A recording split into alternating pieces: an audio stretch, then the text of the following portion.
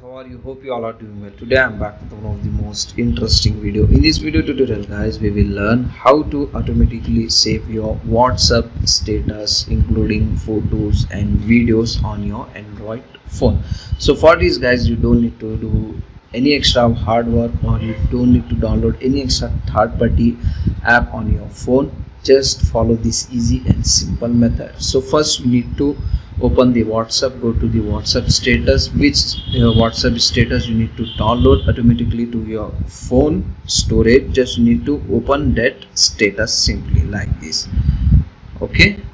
Open that all status which you want to download and then close your whatsapp.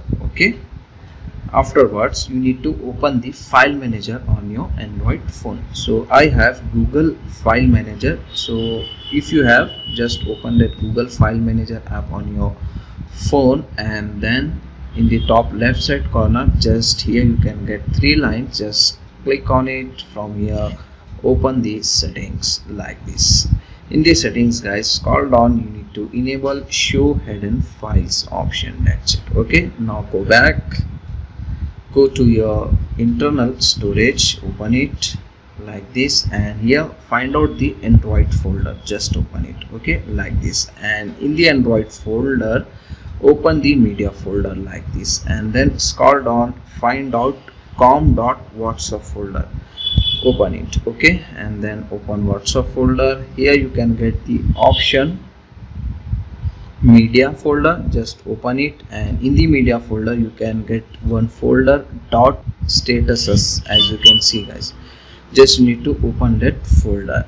In that folder you can get your all open whatsapp status including photos and videos as you can see guys in my screen. So it will automatically uh, move or remove from this folder after 24 hours. If you want to save it just you need to copy this image or video to your another folder. Tap on three dots. Here you can get the option copy or move. Just copy it to your another folder. That's it. It will save on your phone permanently. So this is the easy and very simple method to automatically download whatsapp status on your android phone without using any third-party app.